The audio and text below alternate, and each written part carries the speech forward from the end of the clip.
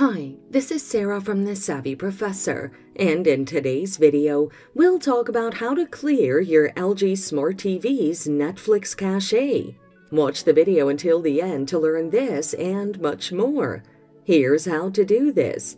Open your TV and click the home button on your remote to launch to the home screen. Scroll to your Netflix app from the menu options using the remote arrows.